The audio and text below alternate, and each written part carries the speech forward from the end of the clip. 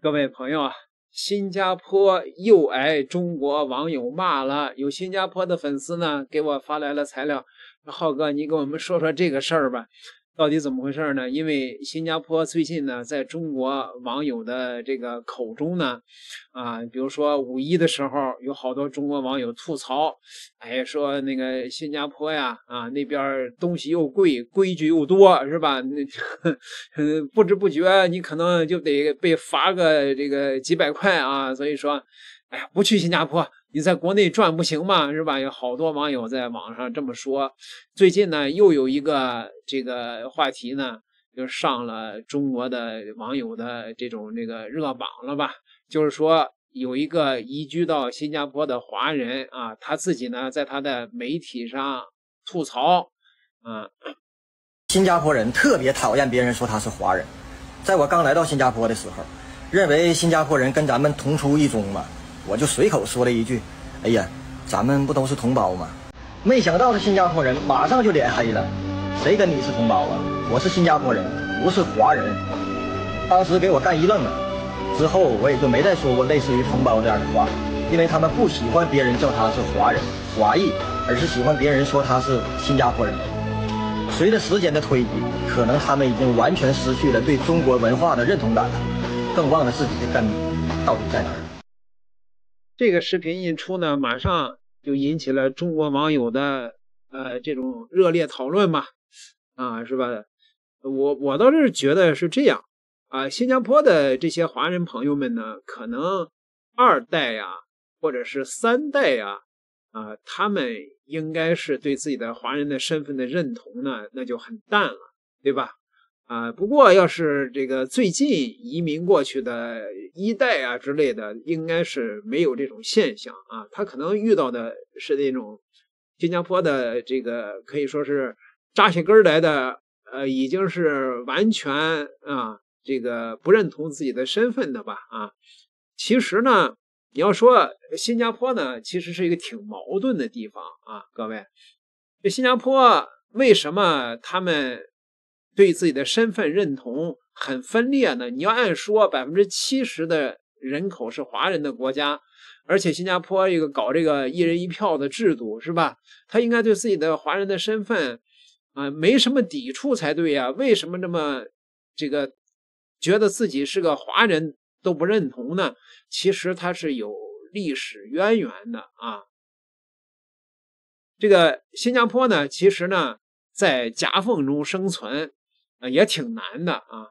新加坡二零二二年呢，人口呢五百六十四万人，华人呢占了百分之七十四，其他的种族呢是马来族、印度族啊。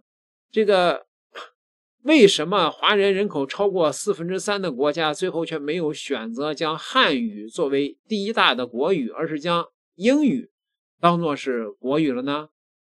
这个呢，就从新加坡的过去啊有关了。新加坡呢，早在三国时期呢，华人呢就来到了这片土地。在吴国的康泰的《吴石外国传》一书中，把这个地方呢称为普罗中啊。根据考证呢，这个词汇呢是由马来语直译而来，意思是半岛最末端的岛啊，就是这么个意思。时间呢到了近代，一九二四年。新加坡呢被英国人殖民了。一九四二年呢被日本人侵占。二战结束以后呢，英国恢复了对他的殖民统治。但是经过二战洗礼的这个日不落呢，大不如前，对世界各地的殖民地的统治呢，基本上都摇摇欲坠了啊。这个时候呢，新加坡呢走向了独立之路。一九五九年，经过一系列的谈判嘛，新加坡呢终于从英国人手中。获得了自治权，成立了新加坡自治邦。李光耀出任总理。根据当时的协议规定，除了国防和外交让英国人管理以外呢，自治政府将负责新加坡的其他的事务。由于新加坡呢一开始的时候是从英国的殖民地独立出来的，所以呢，当时呢把马来语呢啊一边。争取完全独立呢，一边呢把马来语作为了国语，啊，当时是是因为他靠着马来西亚嘛，对吧？马来西亚那是一个人口众多的大国，他也得夹缝中求生存。从英国独立了以后，他说我就把马来语作为国语吧。其实马来人、马来族是少数，他只是为了一个生存，知道吗？啊，当时呢又把这个英语啊也作为他们的官方的语言啊。新加坡当时面前路有两条，一条是同化，一条是求同。同化呢，就是从中选取一个主体民族，推行它的文化，让其他的民族接受和认可啊，是吧？那这个时候他选择这个谁同化呀？你纵观整个东南亚的历史，从古代开始，那都是中国的小弟。啊，都是这个华人的文化。当时呢，选择中国文化作为主源呢，似乎也可行。但是呢，因为那个时候中国经历了一段又又穷又弱的那个屈辱的历史，跟着中国文化走呢，当时他们也觉得不愿意啊，也觉得那个中国太弱了，风险太大了。于是呢，新加坡就选择了求同这条路。李光耀。上台以后，他的第一个主张就是限制汉语，推行英语。当时呢，中华总商会商量过，希望汉语作为官方语言，不过呢，他拒绝了，啊，是吧？他很强硬，说可以，但是前提你要把我打倒。我们需要，我们需要通过语言来和世界交流，啊。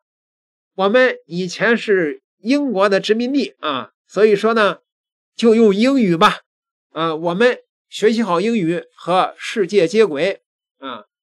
对于新加坡而言呢，英语呢就相当于一种中立的语言啊，所以呢，大伙呢对这个呢，当时呢也不是太抗拒。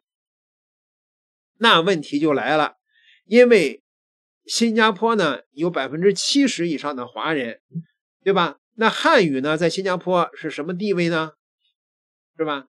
所以呢，新加坡很多的汉汉人呢说的呢也都是方言啊，就是汉语也有多种方言在新加坡流行，而且汉语又很难学，呃，字呢又复杂，呃，所以呢这个没有在新加坡呢推广的开啊，最终呢。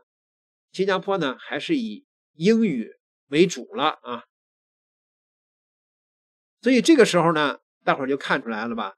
其实新加坡本土的这些华人呢，他一直是对这个身份的认同啊，他是有矛盾的。因为最开始的时候，他所受的教育就是说，我们不是中国的这个传承或者是附庸啊，我们是新加坡人，我们自己呢。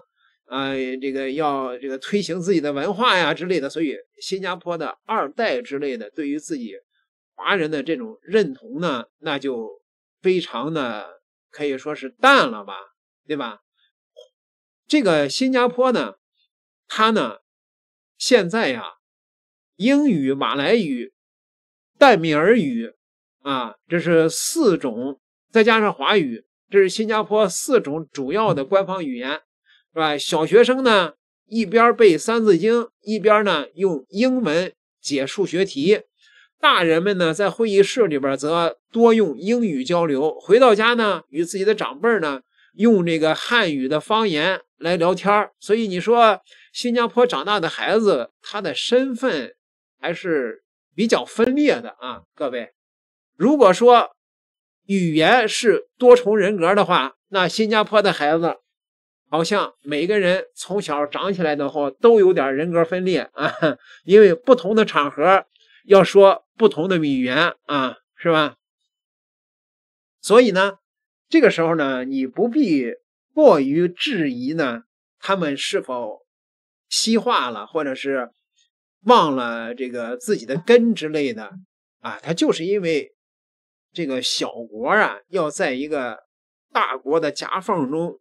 求生存，他谁也不想得罪啊，他所以只好走出自己的一自己的一条新加坡的文化认同之路啊，所以中国的网友呢也大可不必啊，对此呢这个耿耿于怀是吧？呃，毕竟呢，这个新加坡呢那边呢还是华人的根啊，这个华人的血脉比较多，不管他是认同自己是华人呢，还是这个新加坡人啊，但是唯一不变的就是他的黑头发、黄皮肤啊，这个是走到哪儿是永远改变不了的啊，所以呢，网友呢也不必苛求这个事情，点个订阅，咱们。下期再聊。